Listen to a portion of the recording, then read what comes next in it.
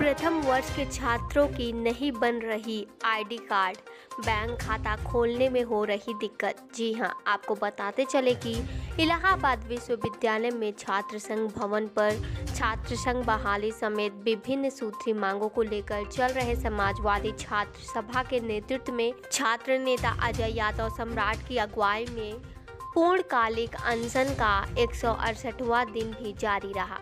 आज अनशन स्थल पर नौ प्रवेशी छात्रों का एक समूह अनशन स्थल पर आया और अपनी समस्या से अवगत कराया। समस्या यह थी कि आईडी कार्ड न होने की वजह से उनका बैंक में खाता नहीं खुल पा रहा है और प्रवेश सहायता समिति ने छात्र नेता मसूद अंसारी को छात्रों की समस्या के लिए नियुक्त किया। उन्होंने जाकर प्राक्टर और डीएसडब्ल्यू को छात्रों की समस्याओं से अवगत कराया और समस्या के मद्देनज़र तत्काल प्रभाव से डीएसडब्ल्यू ने बैंकों को पत्र लिखा कि फ़ीस रसीद से खाता खोला जाएगा।